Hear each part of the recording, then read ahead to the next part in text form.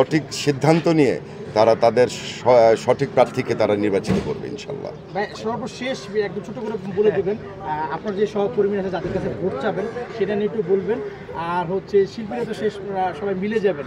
যদি আপনি জয়ী হন বিপক্ষে প্যানেলকে কীভাবে আমি একটা কথা বলি সেটা কথা বলে আমি আমি বললাম না যে আমি চাপা চাপাইতে মানে চাপাবাজিতে বিশ্বাসী না।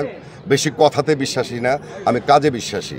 দুই হাজার পনেরো ষোলোতে যখন আমি সেক্রেটারি ছিলাম, সাকিব খান প্রেসিডেন্ট ছিল, তখন শিল্পী সমিতিটার কি ভাবমূর্তি ছিল এটা অনেকেই জানে, হয়তো সাংবাদিক ভাইরা অনেকেই জানেন না।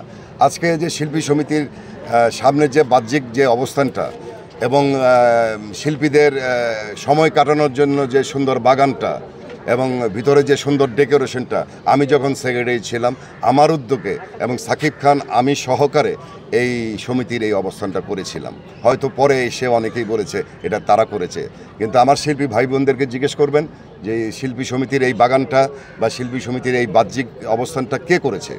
তার মানে কি? যে আমার করার চেষ্টা আছে।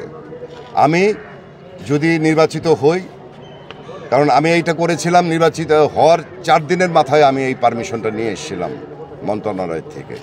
এবং আমি সেটা সাকসেস হয়েছিলাম। এবং আমার বিশ্বাস আমি যদি এবারও আমি নির্বাচিত হই আমার প্যানেল যদি নির্বাচিত হই শিল্পী সমিতির এবার ভাবমূর্তি অন্যরকম হয়ে যাবে। শিল্পী মনে রাখবে আমাদের কথা ভবিষ্যতে।